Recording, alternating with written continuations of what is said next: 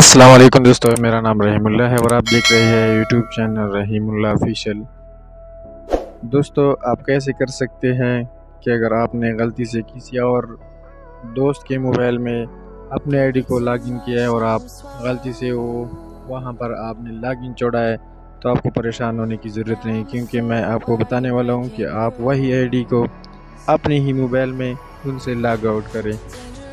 तो सबसे पहले आप लोगों से अपील की जाती अपील करता हूँ कि आप अगर हमारे चैनल पर नहीं नए तो प्लीज़ हमारे चैनल को सब्सक्राइब कीजिए और बेल आइकन पर क्लिक कीजिए ताकि हम, हमारे आने वाली नई वीडियो की नोटिफिकेशन आपको मिलती रहे। तो सबसे पहले आपको फेसबुक ऑन करना होगा, वही आईडी जो मतलब कि किसी और के मोबाइल में आपने लॉगिन की हो।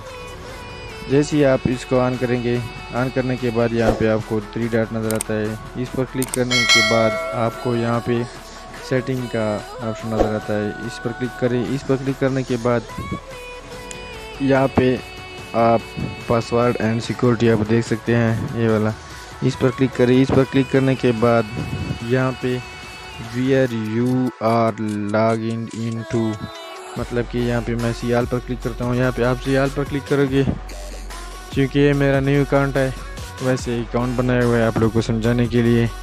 और ये अकाउंट सिर्फ़ जो है ना, इसी मोबाइल पे आना है।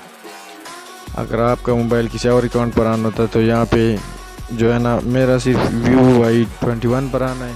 यहाँ पे जो है ना, फिर वो सारे के सारे मोबाइल शो करेंगे, जिस जिस जिस मोबाइल पे जो है ना आपका अकाउंट ऑन होगा, यहाँ पे आपको नज़र आ जाएगा।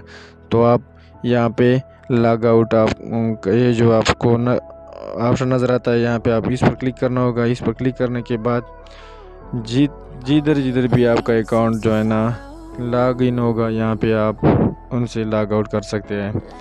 तो यहाँ पे आप क्लिक करना होगा। क्लिक करने के बाद फिर आपको जो है ना, बैक करना होगा। बैक करने के बाद फिर आप इस तरह चेक कर सकते हैं। इस तरह सारे की सारी जगह से आपकी अकाउंट जो है ना, फिर रिमूव हो जाएगी लॉग आउट हो जाएगी।